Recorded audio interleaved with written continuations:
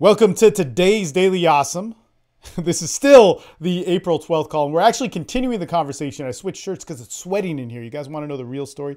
Uh, it's so hot in here that I started sweating. Why? Because my wife is gone and she didn't turn the AC on. So, me, like a dumbass, I'm in like 80 some odd degree bright light room, sweating like a motherfucker, recording shit for you guys. But we're talking about a continuance to this should I date my or should I sleep with my ex? Should I re-hook up with my ex? And we were talking about it and in yesterday's awesome, even though we're recording this on the same day, but how you know, whatever. We shared a certain perspective that was like, man, you, you know, you can fuck up. You, you as a man, the real story of man, you're gonna fuck up and you gotta know where a place to go is. But you also need to hear the truth about some of this as well and why so many people give the advice that they give on it because it's it's man there's truth man. You got you got to speak. We, we got to talk as men. And so that all being said go to the awesome men's development board. Follow the link down below. You can get the way of the sexual man. It's awesome. Just man we wrote these things and did these things for a reason not to like trick you to buy our stuff but to see what our community was all about. And there's a free community. There's a free pdf every month we'll do a different one. And on top of all of that if you do want to interact with us at a deeper level. You know, I'm on the free board all the time, and all these guys are on the free board all the time. But if you do want to act at a deeper level, you can join our membership, and I encourage you to do so. It's a great time. I love it. I love being a coach.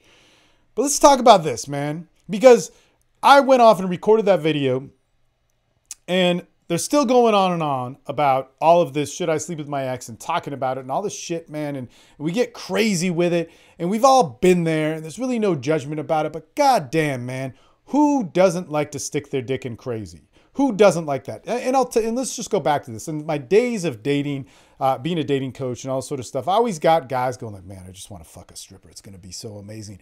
Or, "God, man, I just want to fuck a, a, Latin chick because I haven't." Or, "I want to fuck a black chick." Or, "I want to." And, and there's this image of this new frontier of this stereotype of what things are supposed to be right? And we all want it. And we want it because it's crazy. We don't just want it because it's a new conquest, but we want to experience this new thing, right?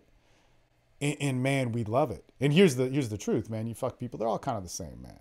You know, they're all kind of the same. You know, some of the stereotypes fit, some of them don't, whatever. And we're not trying to promote some sort of racist thing like women are so much more similar than their different cultural or ethnic backgrounds or where they work. And I'll tell you this, in fact, here's the real stereotype if you are going to fuck a bunch of strippers is get used to some bad sex because most of those girls are stripping and they're showing their sexuality because they're uncomfortable with their sexuality. And their real sexuality is far different than the one that they promote on stage to work for a living you know, which is fine, and they can do. that. I'm I'm a big fan, man. I'm still friends with so many strippers, even though I've been in a strip club for a while. But it's so funny because like you know them and then you go to their their weddings and shit like that after their kids get born or one of them, uh, you know, her kid just went to the hospital. I was like writing on her Facebook about it and all this sort of shit. But it's just it's an interesting thing of what we want, what we want to stick our dick in, and see.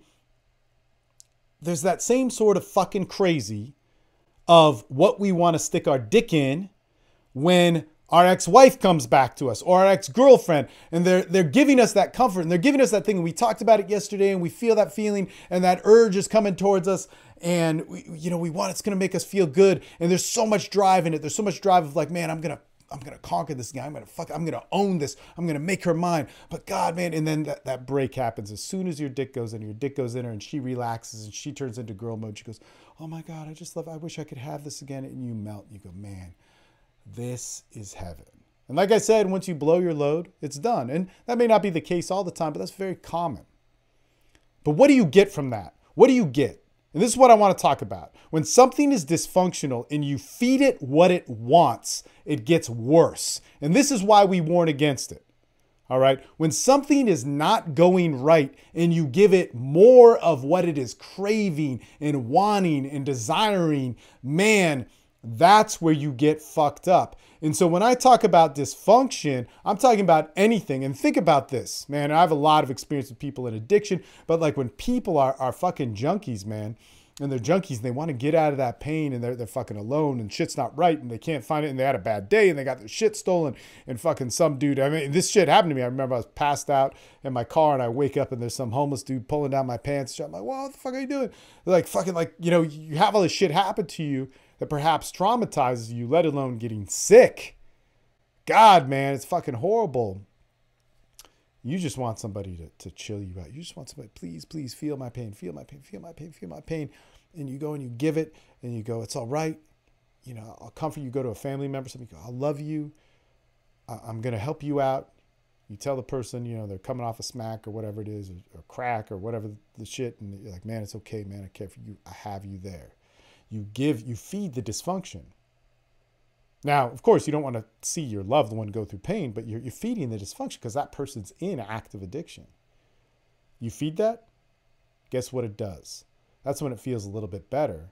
And rather than ripping off a stranger, rather, rather than fucking over a stranger, rather than lying to a stranger, it's going to go to you the strong person, the person that they know that can handle it, the person that they know they're not harming is bad because they don't want to be a bad person. They're just dependent upon this thing. And so they're going to go for it, man. And they're going to fuck you over. And then you can't wrap your head around it. Let's give dysfunction to something else. say you're a little bit unhealthy, man. You're a little bit unhealthy and maybe you drink too much. Maybe you smoke too much. Maybe whatever it is.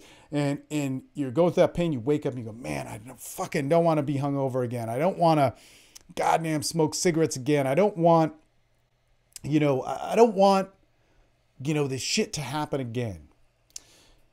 But you got to feed that dysfunction, right?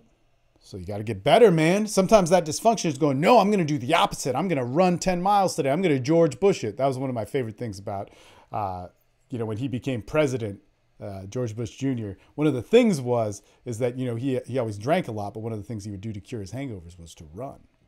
So we do the opposite. We get over it. We get over it. And we do that and we feed that opposite because we're going to be healthy, man. We're not going to be in pain. We're going to fucking get our shit together. We're going to focus up. This makes me feel better. This makes me feel good. Man, I'm on top of the world. I can run.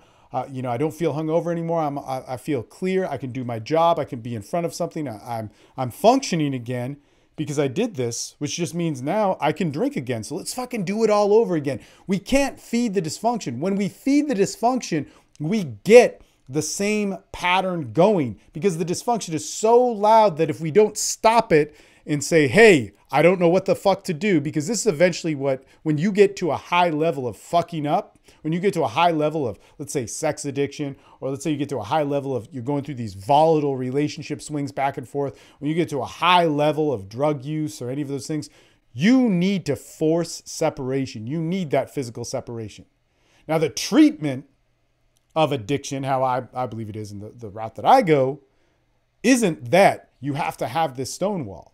So I believe you don't need drugs to live, so I stay abstinent from them. But the idea isn't that I hate drugs. The idea isn't that I dislike it. The idea that I isn't that I have a resentment about it. The idea is that I love it, but I do it to the point where I fuck it up and I choose not to do it. But I still love getting high fuck, man, I do all the Wim Hof stuff. I fucking do all this breathing exercise. I get high every day, man. I still have the pain. I still have the catharsis. I do jujitsu like that. I do all the sort of shit like that. But the deal is, is that man, man, what I fucking need to keep in check that is key is absolutely that if I am feeding that dysfunction, I got to check myself really quick because I'm going to put myself, I'm going to paint myself into a corner where I need to have a force stop, where I need to break, where I need force in order to make me change because I am so wrapped in the dysfunction that my whole lifestyle, you know, comes around it. And this is one of those things that I was saying. I'm grateful for all my fuck ups in life. I've had a lot of problems. And, uh, you know, if I have a lot of problems now, it's like, man, I know I can solve them. I have a lot of faith in that, but I didn't before. But because I hit walls and was forced to go like, hey, maybe I should back off this. Maybe I should change in some whatever ways. You know, that taught me great, great things. But save yourself some of the pain. What I realized from coaching is a lot of guys out there are normal. A lot of guys out there don't need to push it that far. You know, some for some reason, whatever, I took the stupid juice when I was born or whenever they like, you know, change your first diaper or do whatever when you're a baby. And it kind of worked out that way for me. And it's been a great teacher. But you do not have to have that same sort of road as that. Stop feeding the dysfunction. Stop sticking your fucking dick in crazy thinking that you're going to get a response that is love. You know, stop making love a transaction. Stop making love a justification. Stop making love something that you have to talk yourself into. And instead, make all your morals, beliefs, love, experiences, relationships with something and somebody man, something that's a choice and an expression. And the key to a choice and an expression doesn't mean that you have to argue and go to war with yourself in your head in order to make it happen. It means that it just happens. The sad thing is, is wouldn't it be nice to just have a life like that? I think you can. And that's really what we strive for. But you got to work for it a little bit. Live in a different society, we have different cultures or whatever. But anytime you're fighting, anytime you're arguing, anytime you're in that mode, especially with yourself, man, you're not making a choice. You're reacting to the life that's in front of you. And, and why would you do that with the most important things? The only reason why you would do that is because you don't know another way. So let's learn that other way. Anyway, go to the link down below, download the stuff, get on our groups, interact. Why? Because that's why we do this. I am talking to a group of 15 people because we're a community and they're all going to talk back to me probably for another hour or so or whatever it is. You know, and that's a, that's a beautiful thing. You don't need to, to live your journey of being a fucking badass dude alone. Do it and be a part of what we're doing. That's why this podcast is here. That's why the Awesome Men's Development Free Board is there, so that we can all interact and grow this thing in an awesome way, man. And that's the only re- that's the only way I want to have a business. All right, that's pretty fucking cool. So, do it, do it. Like Shia LaBeouf says, do it exactly like him.